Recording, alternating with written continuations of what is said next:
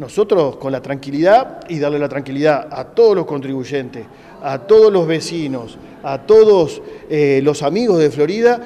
que si hay irregularidades como, se, presume, como se anuncia en, los escritos, si se detecta con las formalidades y con la evidencia y con las seguridades que tiene que tener cada procedimiento,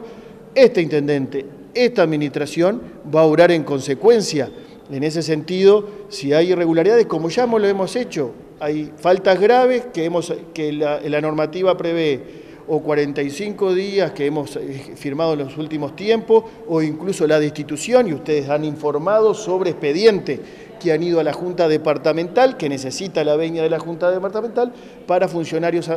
funcionarios municipales que cometen faltas graves.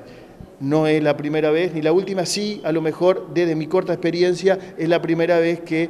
eh, desde la Junta Departamental se promociona una investigadora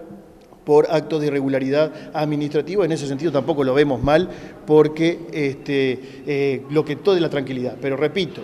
si se detectan y si se confirman eh, estos supuestos, esta administración, como ha hecho en cada oportunidad, no va a temblar el pulso para generar las sanciones que correspondan.